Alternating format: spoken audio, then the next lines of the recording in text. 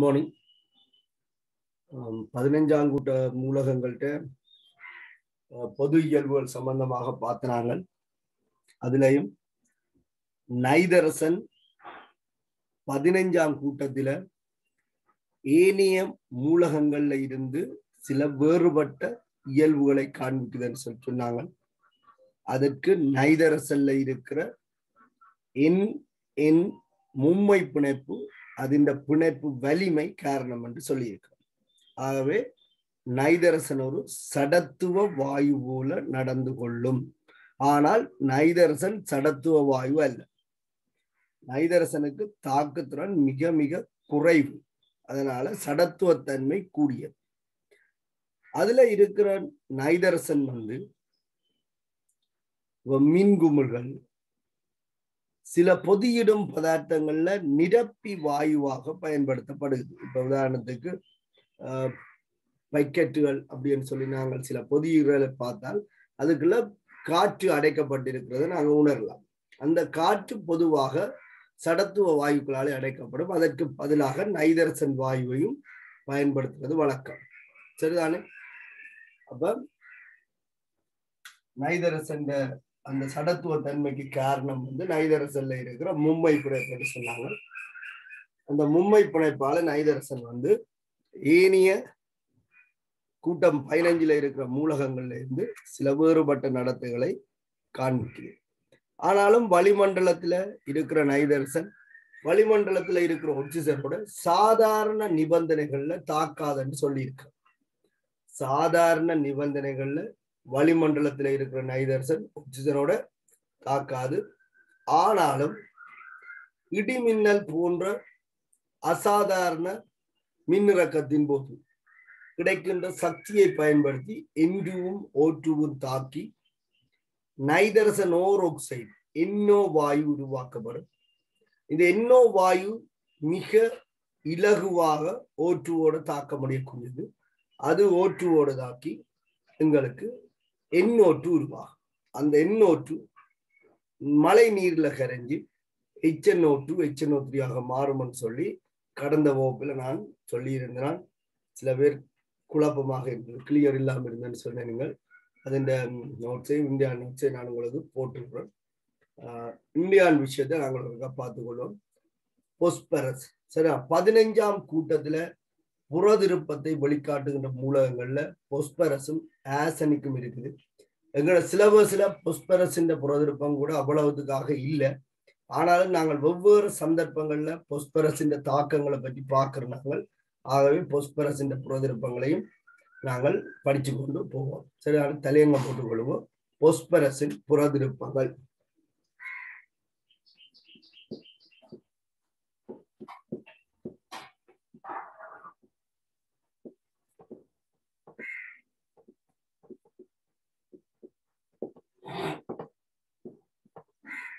பொஸ்பரஸின் புற திருப்பங்கள். பொஸ்பரஸ் வந்து மூன்று புறதிருப்ப வடிவங்களை வெளிக்காட்டுது. பொஸ்பரஸ்ல மூன்று புறதிருப்ப வடிவங்கள் காணப்படுது. ஒன்று வெண் பொஸ்பரஸ். பொஸ்பரஸின் புறதிருப்பங்கள் உண்டு வெண் பொஸ்பரஸ்.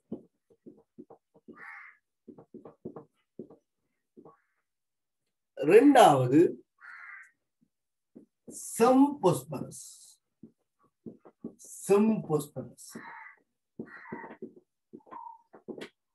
முதலாவது வெண் பொஸ்பரஸ் மற்றது செம்போஸ்பரஸ்.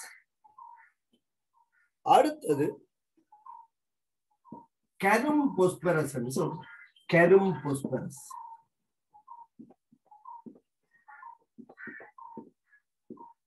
ஒன்று வெண் பொஸ்பரஸ் மற்றது செம்போஸ்பரஸ் மற்றது கரும் போஸ்பரஸ் அப்போ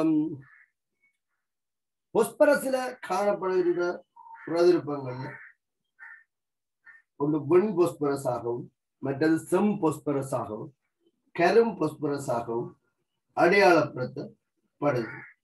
சரிதானே? இதுல செம் பொஸ்பரஸ் கரும் பொஸ்பரஸ் வந்து பல்பௌதி ஆக்கத்துக்கு உட்பட்டு பல அணுக்கள் ஒன்றோடு ஒன்று சேர்ந்து ஒரு சாலக தன்மையில காணப்பட்டாலும் வெண் பொஸ்பரஸ் வந்து நான்கு அணுக்கள் புனைப்பை தோற்றுவிச்சு பி போர் மூலக்கூட்டு வடிவமாக காணப்படும். இப்ப இயற்கையில ஆக்சிஜன் ஓட்டுவாகவும் நைதரசன் என்டுவாகவும் சடத்துவாய்கள் அணு நிலையிலையும் சுயாதீனமாக இருப்பதை போல பொஸ்பரஸ் பி போர் என்ற மூலக்கூற்று சூத்திரத்தை கொண்டு ஒரு வடிவத்துல காணப்படும். இப்ப நைதரசல்ல ரெண்டு நைதரசன் அணுக்களுக்கு இடையில மும்மை பிணைப்பு காணப்படுவதாக in triple bond N N triple bond N ஆனா பொஸ்பரஸ் நான்கு அணுக்களை கொண்டிருந்தாலும் ஒவ்வொரு பொஸ்பரஸ் அணுக்களுக்கு முடிந்த ஒரு பிபி சிக்மா பிணைப்பு மாத்திரம் காணப்படும். ஆகவே இந்த வெண் பொஸ்பரஸ் பதினைஞ்சாம் கூட்டத்தில் இருக்கிற நைதரசனோடு ஒப்பிடும் போதோ அல்லது ஏனைய பொஸ்பரஸ் இந்த புறதிருப்பங்களோடு ஒப்பிடும் போதோ தாக்குத்திறன் மிகவும் கூடியதாக காணப்படும். சரியா? அப்போ பொஸ்பரஸ் இந்த புறதிருப்பத்துல இந்த வெண் பொஸ்பரஸ் தான் பிரச்சனைக்குரியாள் சரியா? இவர் வந்து தாக்குத்திறன் கூடியவர் நச்சுத்தன்மையானது நாங்கள் பொஸ்பரஸ் இந்த வகை பிரதிருப்பங்களோட வகைகளை எழுதிட்டு தனித்தனியா ஒரு விஷயத்தையும் பார்த்துக்கொள்ளும் எழுதி கொள்ளுங்க பொஸ்பரஸின் புரோதிருப்பங்கள்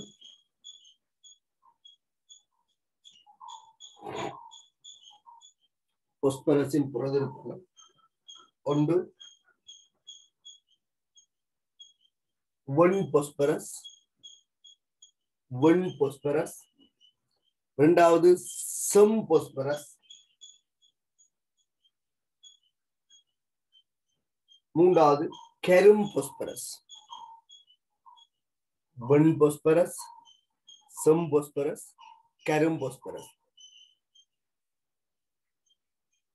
ஆகிய ஆகிய ஆகிய ஆகிய மூன்று புறதிருப்ப வடிவங்களை கொண்டுள்ளது. வெண்பொஸ்பரஸ் செம்பொஸ்பரஸ் கரும்பொஸ்பரஸ் ஆகிய மூன்று பிறதிருப்ப வடிவங்களை கொண்டுள்ளது. மூன்று புறதிருப்ப வடிவங்களை கொண்டுள்ளது. மூன்று புறதிருப்ப வடிவங்களை கொண்டுள்ளது.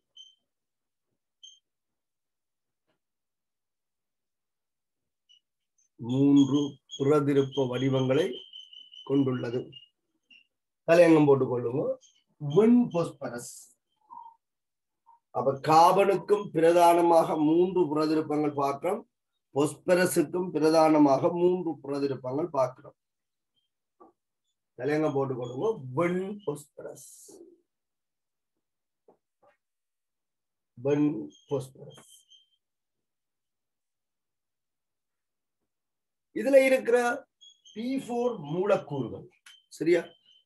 பொஸ்பரஸ் வந்து இயற்கையில நான்கு அணுக்கள் சேர்ந்து பி போர் மூலக்கூறாக காணப்படும். பதினைஞ்சாம் கூட்ட மூலகங்கள்ல உள்ள பதினைஞ்சாம் கூட்ட மூலகங்கள்ல மூன்று சிக்மா பிணைப்புகள் தோற்றுவிக்கப்படுவது உறுதியானது. ஒரு பொஸ்பரஸை சுற்றி முக்கோண கூம்பக ஒழுங்கமைப்பில மூன்று சிக்மா பிணைப்பு காணப்படும். இந்த ஒவ்வொரு பிணைப்போடையும் பொஸ்பரஸ் அணுக்கள் இணைக்கப்பட்டிருக்கும். அப்ப இதுல முக்கோண கூம்பகம் மாதிரி இருக்கு. உதாரணத்துக்கு நீங்க அமோனியாவுக்கு கட்டமைப்பு எழுதி இருந்தால் அதுல இந்த மாதிரி கருதி இருக்கு. முக்கோண கூம்பகம் ஆனா இங்க இணைஞ்சிருக்கிறது போஸ்பரஸ். இதுல இருக்கிறது போஸ்பரஸ். சரி இதுல இணைஞ்சிருக்கிறது போஸ்பரஸ். அப்ப இந்த போஸ்பரஸ் ஒற்றைப்பிணைப்பு உறுதி இல்லாது. ஆகவே இதுவும் அடுத்துள்ள இன்னொரு போஸ்பரஸோட சரி அடுத்துள்ள இன்னொரு பொஸ்பரஸோட இங்கால இருக்கிற பொஸ்பரஸோட இந்த பிணைப்பு முன்னுக்கு இருக்கு இது ரெண்டும் பின்னுக்கு இருக்கு. ஏன்? முக்கோணக்கும் இப்படித்தான் இருக்கு. அப்ப இந்த ரெண்டு பிணைப்பு தான் இது. பின்பக்கத்துக்குள்ள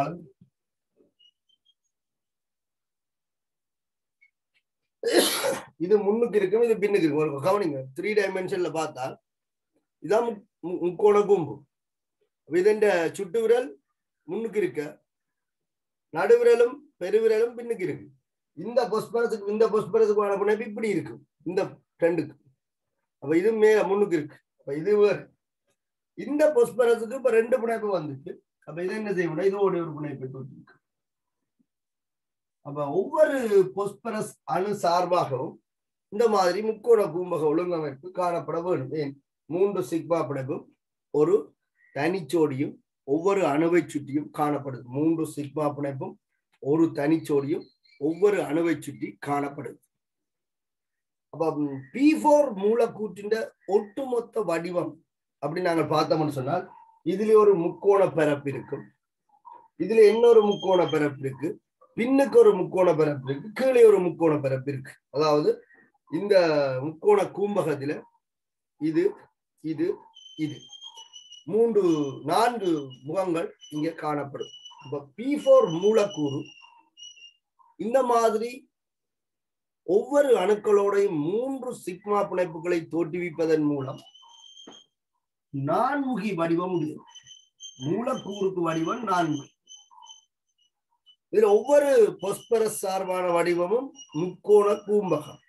இந்த பி போர் மூலக்கூற்றுக்கு வடிவம் நான்முகி பி போர் மூலக்கூற்று வடிவம்.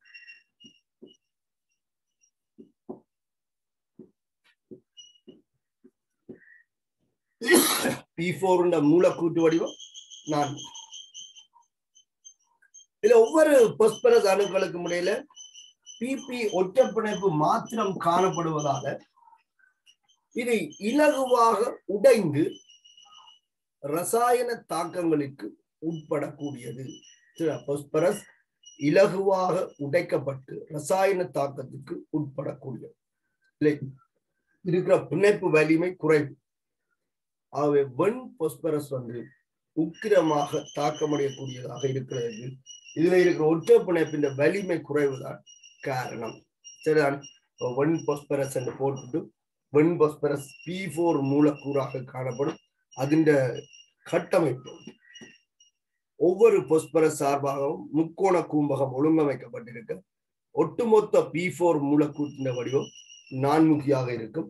ஏன்னா இங்க நான்கு முக்கோண முகங்களை நீங்க பார்க்கலாம். சரிதான்? இது ஒரு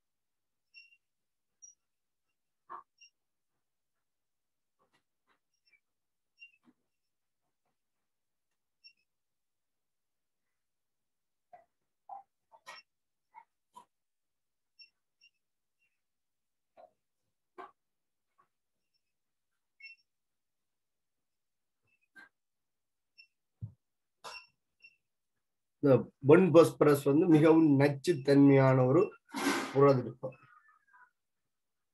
சரிதானே இந்த ஸ்ட்ரக்சரை போட்டு எழுதி கொள்ளுவோம்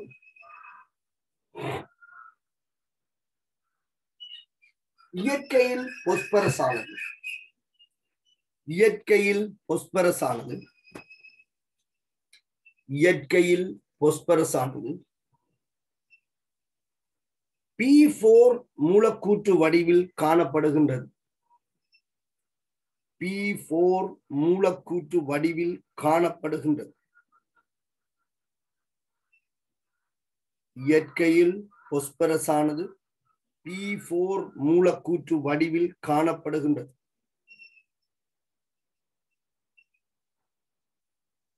இம்மூலக்கூறு இம்மூலக்கூறு இம்மூலக்கூறு நான்முகி ஒழுங்கமைப்பில் காணப்படும். இம்மூலக்கூறு நான்முகி ஒழுங்கமைப்பில் காணப்படும். இம்மூலக்கூறு நான்முகி ஒழுங்கமைப்பில் காணப்படும்.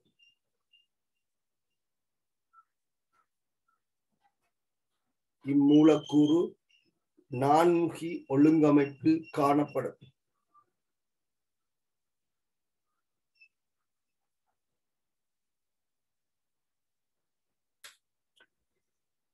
பி ஒற்றப்பிணைப்பு பி பிணைப்பு சக்தி பிணைப்பு சக்தி பி ஒற்றை பிணைப்பு பி பிணைப்பு சக்தி.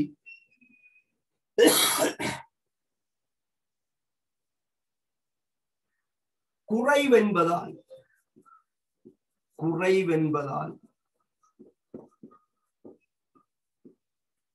பி பி பிணைப்பு சக்தி குறைவென்பதால்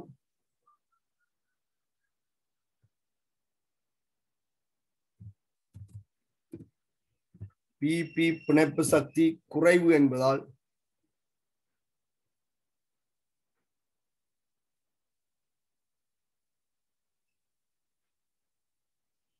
பிபி பிணைப்பு சக்தி குறைவு என்பதால்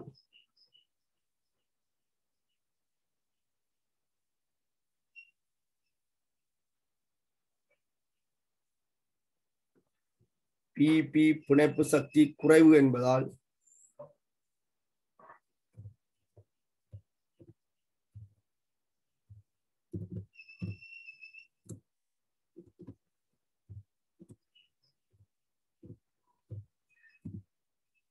பிபி பிணைப்பு சக்தி குறைவு என்பதால் இலகுவாக உடைக்கப்பட்டு இலகுவாக உடைக்கப்பட்டு. இலகுவாக உடைக்கப்பட்டு.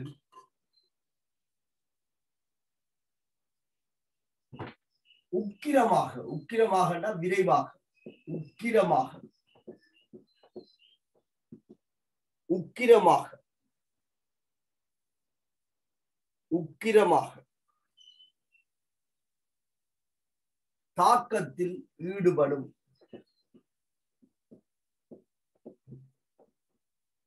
தாக்கத்தில் ஈடுபடும்.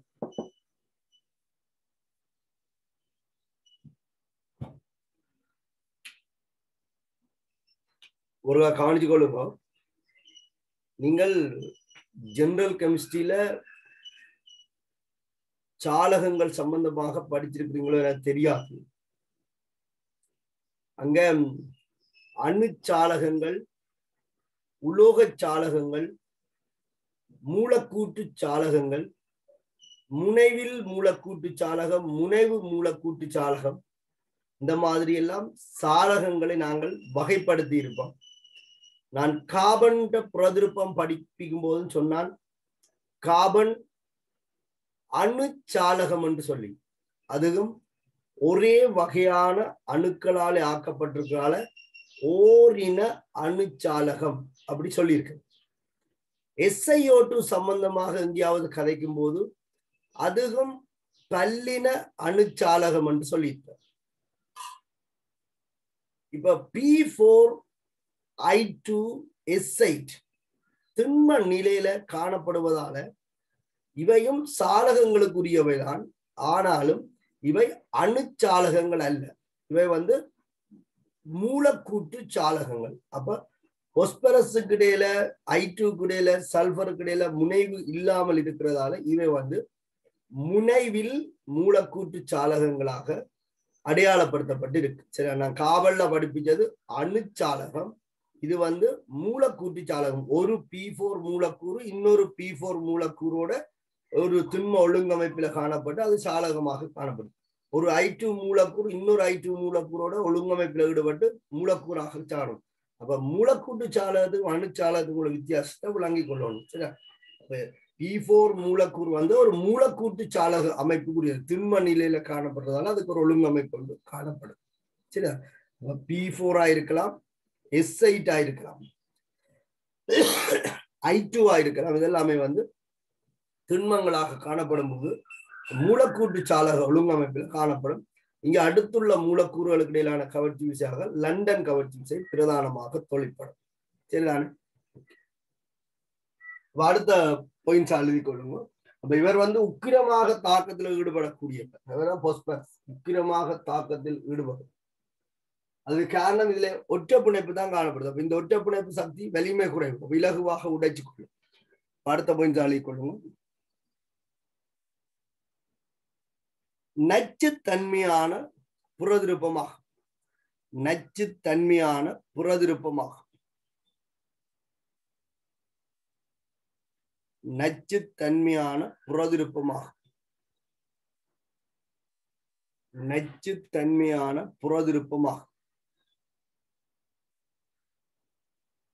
நச்சுத்தன்மையான புறதிருப்பமாக. நாங்கள் செம்பொஸ்பரஸ் கரும்பொஸ்பரஸை பற்றி பார்க்கறதுக்கு முன்னும் இந்த நாங்கள் பொதுவாக பொஸ்பரஸ் என்று சொல்வது இந்த பி ஃபோர் தான். மெட்டதல் வந்து அது ஒன்றோடு ஒன்று பல் பல்பௌதியத்துக்கு உட்படுத்தப்பட்டு காணப்படுகிறதால நாங்கள் அவற்றின் தாக்கங்களை கதைக்கிறாங்க பொஸ்பரஸுக்கு தாக்கம் என்று சொன்னால் பி ஃபோர் அதாவது ஒன் பொஸ்பரஸின் தாக்கங்கள் சம்பந்தமாக தான் கதைத்துக் கொள்ளும் ஆகவே இந்த இடத்திலே நான் பொஸ்பரஸின் தாக்கங்களை குறிப்பிட்டு ஏனைய ரெண்டு புரதிருப்பங்களும் இருக்கு என்று மட்டும் அது சொல்றதான சிறிய இயல்புகளை பார்த்துக்கொண்டு போகலாம். சரியா? அப்ப தலையங்கம் போட்டுக்கொள்ளுங்க பொஸ்பரஸின் தாக்கங்கள். பொஸ்பரஸின் தாக்கங்கள்.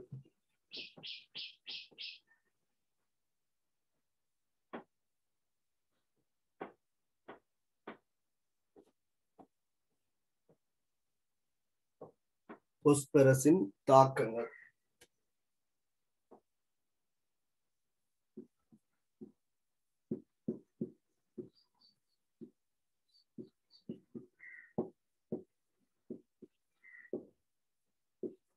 அப்ப நான் உங்களுக்கு காபல்ல சொல்லி இருக்கிறேன் நாங்கள் யார் யாரோட தாக்கங்கள் பார்க்க வேண்டி இருக்குன்னு சொல்லி.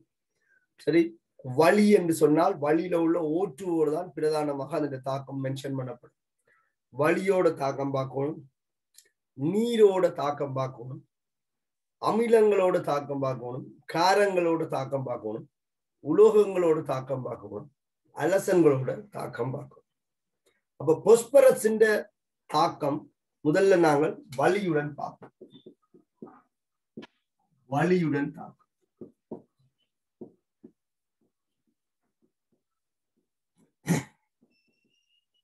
சரி. இந்த பொஸ்பரஸ் மிகவும் தாக்குத்திறன் கூடிய ஒரு மூலகம். தடை செய்யப்பட்ட வெப்பன்ஸ் ஆயுதங்கள் பொஸ்பரஸும் ஒரு ஆயுதமாக அடையாளப்படுத்தப்பட்டிருக்கு. அதாவது தடை செய்யப்பட்ட. இந்த உலகத்துல சட்ட ரீதியாக பாவிக்கப்படக்கூடாது என்று சொல்லப்படுகின்ற ஒரு ஆயுதமாக இந்த பொஸ்பரஸும் பயன்படுத்தப்படுவதாக கதைக்கப்படுது. சரியா? அப்ப பொஸ்பரஸ் வந்து மிகவும் உக்கிரமான தாக்குத்திறனுடைய மூலகங்கள். இது சாதாரணமாக ஆய்வு கூடங்களுக்கு கிடைக்காது. சரியா? சில தமிழ் சினிமாவில இதுகளை சம்பந்தமாக காட்டினாலும் பாடசாலைகள் பல்கலைக்கழகங்கள்ட்ட இதுகளில் இந்த பொஸ்பரஸ் இருப்பதாக காண்பித்தாலும் சாதாரணமாக அதுகள் ஆய்வு ஊடங்களில் கொடுக்கப்படுவது இல்லை ஏனென்றால் அதிண்ட தாக்குத்திறண்ட பிரச்சனையால். ஒரு பச்சை மரத்துல கொஞ்சம் பொஸ்பரசை கொண்டு நாங்கள் தூவி விட்டால் அது வழியில உள்ள ஓற்றுவோட வந்து உடனடியாக தகனம் அடைஞ்சு அந்த பச்சை மரம் அப்படியே எரிஞ்சு சாம்பலாக போகக்கூடிய அளவுக்கு இது உக்கிரமாக தாக்கமடையும் சொல்லி சொல்லப்படுது சரிதான்? அப்ப இந்த பொஸ்பரஸ் வந்து அவ்வளவு உக்கிர தன்மையுடைய ஒரு தாக்கி. வழி அதுவும் சிறப்பாக சொல்லப்படும் உலர் வழி உலர் வழியோட பொஸ்பரஸ் வந்து மிக உக்கிரமாக தாக்கம் அடைஞ்சு பி ஃபோர் ஓட்டன் என்று சொல்லப்படுகின்ற ஒரு பொஸ்பரஸ் ஆக்சைடை தோற்றுவிக்கும். சரிதான்? அப்ப வலியுடன் பொஸ்பரஸுக்கு உக்கிரமான தாக்கம் இருக்கு. உலர் வழி என்று நாங்கள் சொல்றோம். காரணம் பொஸ்பரஸ் நீரோட தாக்காது. அப்ப நீர் ஈரழிப்பாக இருந்தால் அதுல தாக்குத்திறன் மந்தமாகிறது அதால உலர் வழியில பொஸ்பரஸ் பி போர் மூலக்கூறு வழியில உள்ள ஓற்றுவோட சாதாரண ஒளி முன்னிலையிலே தாக்கமடைந்து பி போர் ஓ மாறும். பி போர் ஓ இது ஒரு அமில ஆக்சைடு நீங்க கேள்விப்பட்டிருக்கீங்க பி டூ ஓ ஃபைவ் ஒரு இரு இருபகுதியம் தான் இந்த பி போர் ஓ ரெண்டு பி டூ ஓ ஃபைவ் மூலக்கூறுகள் இணக்கமடைஞ்சு பி ஃபோர் ஓட்டனை தோற்றுவிக்கும். சரிதானே? ரெண்டு பி ஃபோர் மூலக்கூறு பி டூ ஓ ஃபைவ் மூலக்கூறுகள் இணக்கமடைஞ்சு பி ஃபோர் ஓட்டன் மூலக்கூறு வந்து தோற்றுவிக்கப்படும் இது தலையங்கம் போட்டுக்கொள்வோம் முதலாவது வலியுடன் தாக்கம். ஒஸ்பரஸ் இந்த தாக்கங்கள்ல முதலாவது வலியுடன் தாக்கம். எழுதி கொடுப்போம்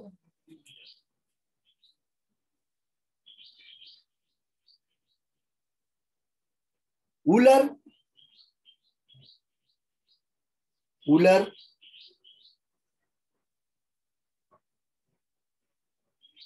உலர் வழியில் உலர் வழியில்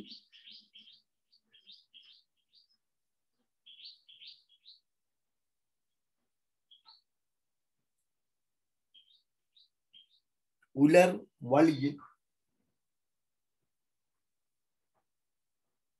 பிரகாசமான தோற்றத்துடன். பிரகாசமான தோற்றத்துடன்.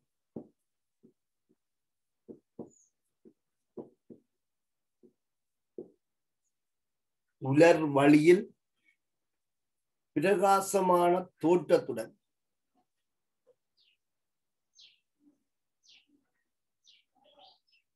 உலர் வழியில் பிரகாசமான தோற்றத்துடன்.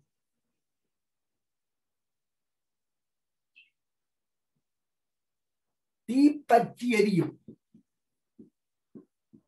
தீப்பற்றி எரியும்.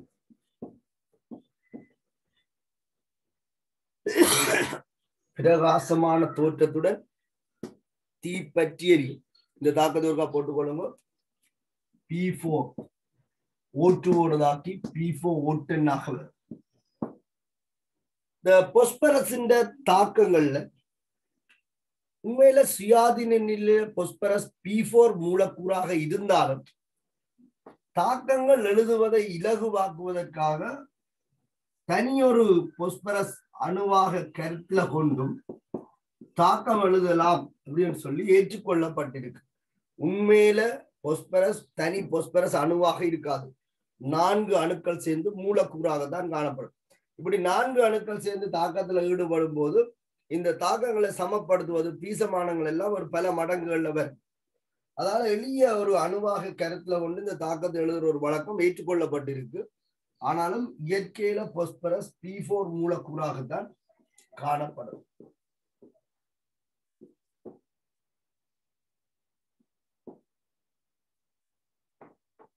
இந்த மாதிரியும் இது எழுதலாம்.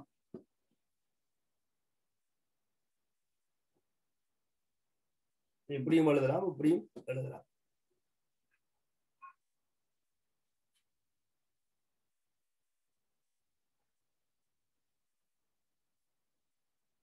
ஒரு பொஸ்பரஸ் மூலக்கூறு வலியோடு மிக விரைவாக தாக்கத்துக்கு உட்படக்கூடியது. இப்போ வழியில ஒண்ணு வந்து இப்ப சில படங்கள்லாம் நீங்க பாத்துருப்பீங்க வழியில கொண்டு வந்து பொஸ்பரஸை கொண்டு வந்து ஒரு பேப்பர்ல விசிறி விட்டால் அந்த பேப்பர் அப்படி ஏறி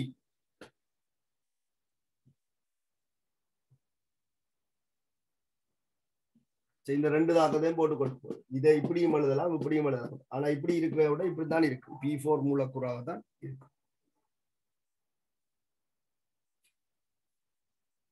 அடுத்த தாக்கம் வந்து நாங்கள் நீரோட பார்த்துக்கொள்வோம். தலையங்கம் போட்டுக்கொள்வோம் நீருடன் தாக்கம் சொல்லி. எஸ் பிளாக் படிப்பிக்கும் போது நான் இதை பற்றி கதைச்சிருப்பேன் நீருடன் தாக்கம்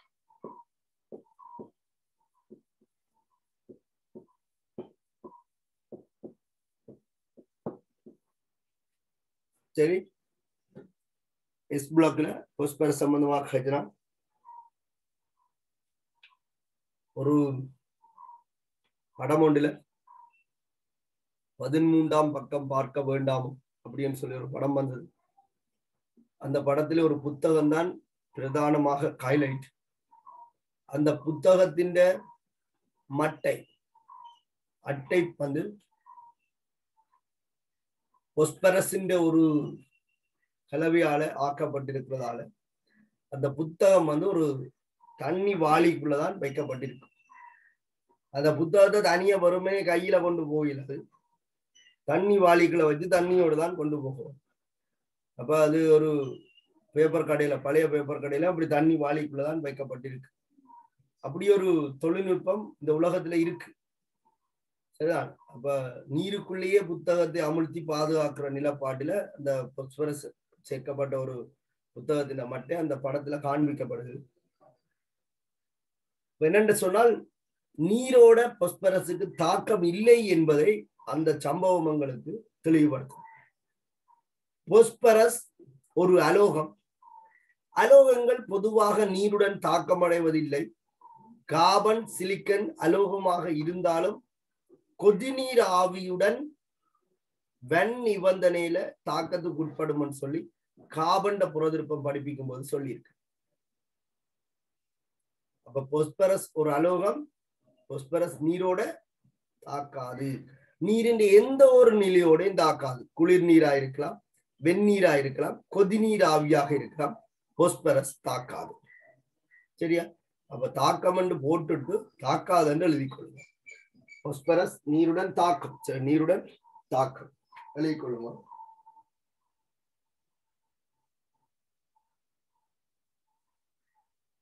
ஹோஸ்பரஸ் ஆனது பொஸ்பரஸ் ஆனது நீருடன் தாக்கமடைவதில்லை. ஒஸ்பரஸ் ஆனது நீருடன் தாக்கமடைவதில்லை. அப்ப ஒஸ்பரஸ பாதுகாக்கிறதுக்கு என்ன செய்யலாம்? இவர் யாரோட தாக்கம் அடைய மாட்டாரோ அவருக்குள்ளே அமுழ்த்தி பாதுகாக்கலாம். அப்ப நீருக்குள்ளே அமுழ்த்தி தான் பொஸ்பரஸ் வந்து பாதுகாக்கப்படுது. நாங்கள் ஸ்பெஷலாக காட்சி வடித்த நீர்ன்னு சொல்லிக்கொள்வோம். நீர்ல ஒட்சன் கரைஞ்சிருக்கு. அதனால காட்சி வடித்த நீர் என்று சொல்லிக்கொள்வோம். பொஸ்பரஸுக்கும் நீருக்கும் தாக்கம் இல்லை என்பதால்தான் அதை பாதுகாக்கிறதுக்காக நாங்கள் நீருக்குள்ள கொண்டே அமுழ்த்தி வச்சிருக்கோம் சரியா நீருடன் தாக்கம் என்று போட்டு எழுதி கொள்ளுங்க. பொஸ்பரஸ் நீருடன் தாக்கம் அடைவதில்லை. பொஸ்பரஸ் நீருடன் தாக்கம் அடைவதில்லை. இதனால் இதனால் இதனால் பொஸ்பரஸ் மூலகமானது. பொஸ்பரஸ் மூலகமானது. நீரினுள் நீரினுள் அமிழ்த்தி. அமிழ்த்தி களஞ்சியப்படுத்தப்படுகின்றது